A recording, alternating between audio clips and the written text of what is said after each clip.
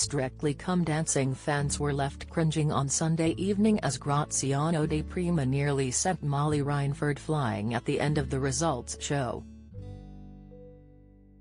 The moment came after Kym Marsh became the 10th celebrity to be eliminated from Strictly Come Dancing alongside her professional partner Graziano.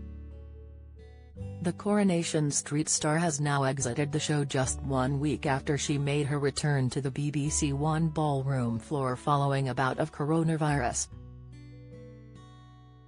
Kym landed in the dreaded dance-off alongside Molly and her dance partner Carlos Gu following a spectacular installment of Musicals Week on The Talent Show.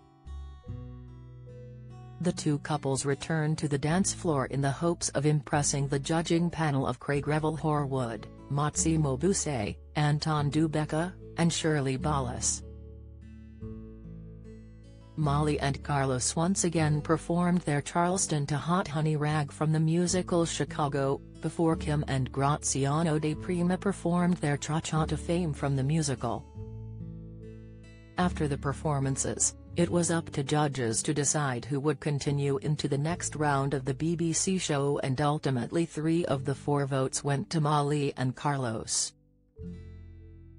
Then at the end of the show when the celebrities and dance professionals rushed the BBC ballroom dance floor to hug the couple after their farewell dance, Graziano extended his arm full length, landing Molly in the face and almost knocking her off her feet.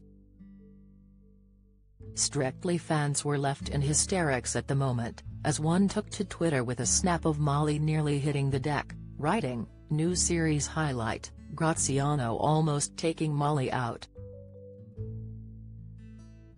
A second wrote, Graziano almost knocking Molly out, alongside a string of crying emojis as a third said, Graz nearly clothesline Molly there. The moment came after host Tess Daly then asked Kym if she had any final words, to which the soap star said she had loved every single second of the experience. She said, I never thought I'd get to this stage, in a million years. I have to say, it's all down to this man, Graziano, here, he is just wonderful and he will be my friend forever. What a journey it's been. This show is just wonderful, it shows you things about yourself you don't know, it shows you how tough you can be. Everybody, the crew, the celebs, the pros, costume, makeup, everyone is amazing. I've had the best time, so thank you.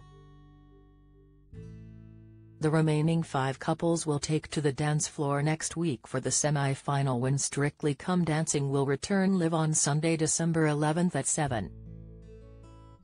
15 p.m., with the results show on Monday December 12 BBC One and BBC iPlayer. Read more Strictly Come Dancing 2022 Hamza's heartbreaking comment star reveals live routine mistake Tyler responds to judges dig Oti Mabuse returns as choreographer.